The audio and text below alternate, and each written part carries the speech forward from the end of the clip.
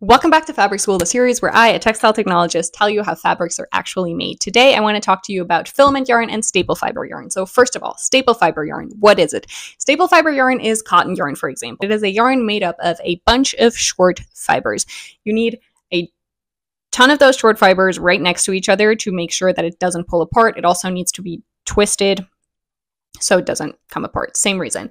Then filament yarn is made up of a bunch of super long fibers, which are referred to as filaments, and therefore it is a little bit stronger. So same thickness will be stronger than the staple fiber yarn. Filament yarn can be made out of three things: either silk, the only all-natural filament that we have, um, full synthetics such as polyester, or regenerative fibers such as cellulose from uh, trees or bamboo that you, through a chemical process, then turn into super, super long fibers as well. That would be, for example, viscose or lyocell would fall under that category.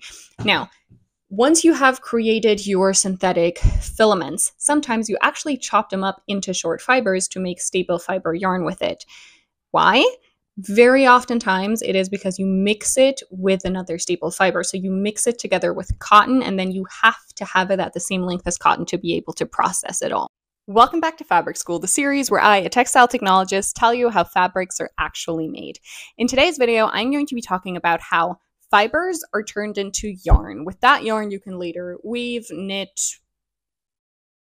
warp knit, different fabrics. I'm going to be talking about what on earth all those things mean in later videos today. How do you get short fibers, kind of like that, into yarn? Meaning, how do you get staple fiber yarn? Staple fibers are just shorter fibers.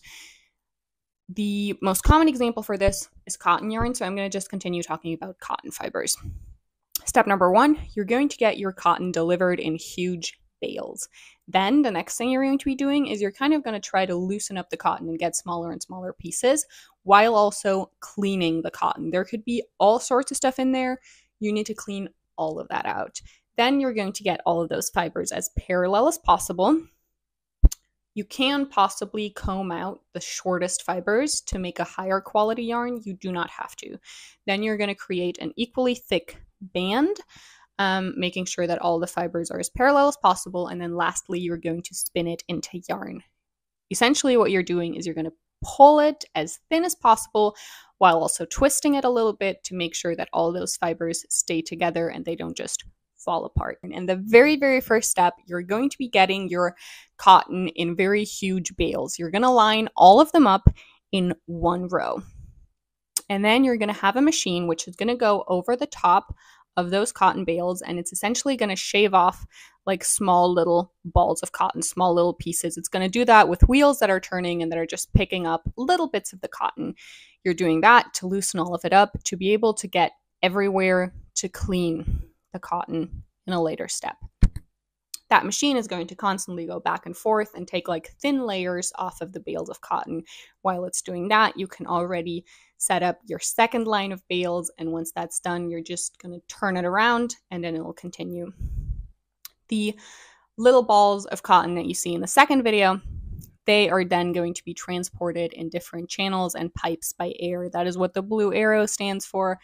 They're going to be continued to be transported by air in the next couple of steps. So just a little heads up. But that is your very, very first step. Now, once you've loosened up your cotton a little bit, the very first thing you want to get out to not break your machines is any metal pieces. There could be metal pieces in there for tons of different reasons, but very, very early on, you have a magnet picking all those out. We already have the cotton fibers and like small little balls of cotton essentially, and the next step is to clean them. We have two machines to do that. The first one just roughly cleans it. What happens is the cotton falls into the machine. You have like this big metal rod, which has metal spikes going off of it that is spinning and spinning and spinning. The cotton will get stuck to it um, the heavier pieces, such as trash, they will fall off. They will fall through this crate that's at the bottom of the machine because the cotton is bigger and lighter. It will not fall through. It'll continue to turn until the cotton pieces are like small and light enough to be picked up by the upward wind on the back of the machine, where the cotton will then be transported into the second machine. And the second machine, there is a more thorough cleaning. So you will now have smaller pieces and they will go around three different rolls. Those have like little spikes on them, which are a lot finer than in the second uh, in the first machine. They get finer as they go through the machine and they will be scraping against different pieces, essentially being combed. And then all of the trash will be combed out of them. Um, so those weird, like,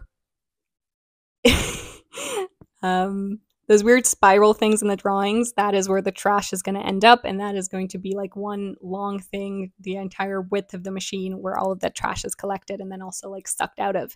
And then once again, in the back, you have even smaller cotton pieces and they're transported off by air. The next thing is to get all the fibers somewhat parallel, so oriented in the same direction so we can actually turn them into functional, useful yarn. And for that, we have one machine, which my professor actually wrote his dissertation on, I believe, which is why we talked about it a ton. There is so many details to look into when actually using the machine, but I'm going to try to explain it as quickly as possible. Essentially, you have one roller transporting the cotton onto a different roller. The second roller takes all of the cotton from roller number one and it kind of carries it along. All of those rollers have like different spikes on them.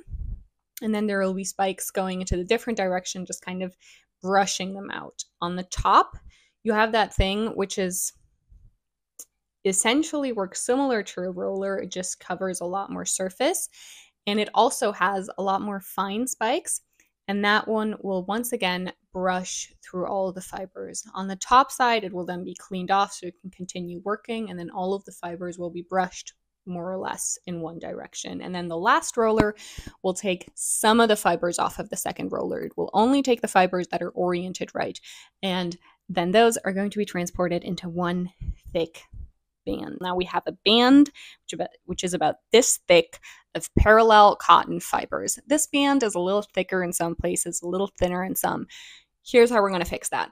We have a couple of these machines after each other. We're going to repeat this step several times. We usually don't just do it once. What you do is you take about six, maybe eight of those bands, you mush them together, and then what you need to do, you need to stretch them again to the thickness of one of them. What this will do is you got one, let's say one is a little thicker in that spot, but two to eight are not. They're kind of normal. So that little thicker spot, then on average, isn't that much thicker anymore. Same with thin spots. So it just kind of evens out the thickness a little bit. The way you're going to stretch it out is you have three sets of rollers. The top ones have arrows on them because they are actively spinning. The bottom ones, they're only spinning because of pressure. So they're passively spinning. They don't have a motor actually making them turn. The first one is the slowest one. The second one is just a little bit faster.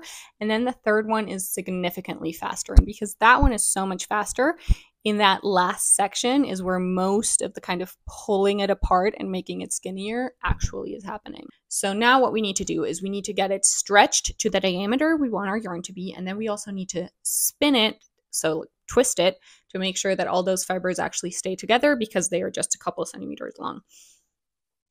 Now, there's three ways to do this. The most commonly used one is ring spinning. So in ring spinning, what you have is, once again, you have three sets of rollers. You'll have um, the top rollers, which are actively being turned. First one the slowest, the third one is the fastest, and in between roller number two and three, you will actually be stretching your band a lot smaller. So in ring spinning, you have two steps. First, you'll have your flyer machine, which will make the band about this thick, and then later you'll have the actual ring, spinning machine, which will make it like a tiny thin thread. Does the exact same thing. Those weird triangles on roller number two are there to make sure that the thread actually reaches the roller set three and doesn't just like fall down. And then to get the twist in there, that's what's happening when you put it onto your final spool. That spool is put onto a so called spindle, which is turning. The spindle is the thing that Sleeping Beauty pricks her hand on. Luckily, here they're not nearly as pointy, and that's how you have your finished spool of thread. The second one, air jet spinning. Now, air jet spinning is essentially what it sounds like. You do it with very fast air. So you'll have your band coming into the bottom of the machine, and it will be going upwards into this essentially like cone thing, which has a small little tunnel in it. The tunnel will be a lot smaller than where it's coming from, which means that the air is going to be going faster into there. So that's where your yarn is getting skinnier towards the top. And to make sure that it actually gets twisted, um, the air will be going kind of diagonally upwards around your cone. And then there will be some fibers that you can see kind of in that sketch that I made. Those fibers will kind of go upward around the outside of that cone. And because of that air, it will just wrap those fibers nicely around the yarn, which is going up into the tunnel. And now we are going to spin it the third way of how to. So what we are trying to create is a thin thread, which is a little twisted to make sure that all of those short fibers don't just fall apart. So we have our cotton, which is going to go um, once again past a couple of rollers and being transported by air, and then it will go into this thing called a rotor, which is about, I want to say this big. Um, and it has like a ridge in it where the fibers will, again, through centrifugal force, they will get collected in that ridge and they will turn a little bit, and that is how they create a thread, which will then be pulled out of said ridge. And then it just continually keeps going on. Um, I've never until now, been able to fully grasp this concept because I've never been able to see it. So I just wanted to tell you about it for full disclosure so you know about all the different methods. I cannot explain it any better. we have been talking about how to turn cotton fibers into yarn. There is one final final step that you need to do to be actually be able to sell the yarn that you just made. So, we currently have after let's say we did ring spinning for our yarn because that's the most popular. We have our yarn on this spool, which is really not that thick and about this high. There's not a lot on there. Whereas in production for like weaving or knitting, you will need a lot bigger spools. So what you do is you spool all of that thread onto one bigger one. You'll knot the end of a second one to it, continue spooling, and then you'll have a spool which is about twice the size of this and a lot thicker and those are the ones that you can actually sell. And while you're doing that, spooling it from that tiny to the big spool, if you're going to be selling it to be able to knit it later, you will most likely also add wax to it. You're going to do that by literally just pulling the thread past like this block of wax to get some wax onto the sides of it. That way it's a little less brittle, less less likely to tear. that is it. Your thread's done. You can finally sell your cotton thread and work with it. Um, that is cotton. And today I'm going to tell you how to make synthetic fibers, which are also called, if they are long, they're called filaments. If you chop them down, they are once again staple fibers.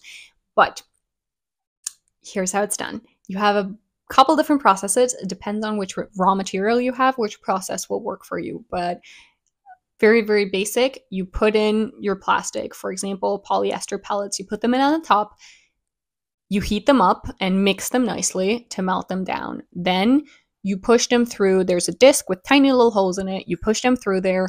You pull that out at the bottom. Then you'll have like tiny little strings, filaments of your synthetic fiber uh, of your you know synthetic material you will blow cold air onto that it'll cool down to make sure they don't stick together in the end and then you roll them onto a spool the cross section can be anything you want, more or less. Most of the time, the cross section is round, but you can make the cross section whatever you want to get a different function. So, for example, the bottom one is a little bit closer to the cross section of cotton if you want it to behave shape wise a little bit more like cotton, if you want to mix it with cotton, for example.